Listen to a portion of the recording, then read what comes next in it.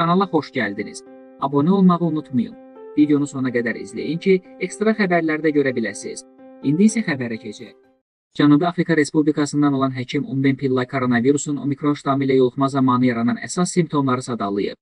Milli Az Publika azə istinadən xəbər verir ki, bu barədə Bloomberg agentliyi məlumat yayıb.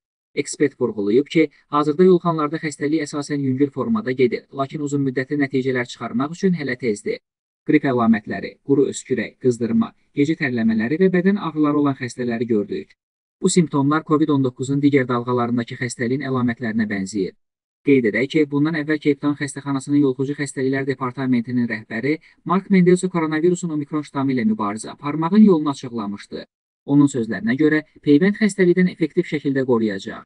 Mütəxəssis istisna etməyib ki, ştam immun sistemindən yayına bilər və bu təkrar yoluxmaların sayını artıracaq.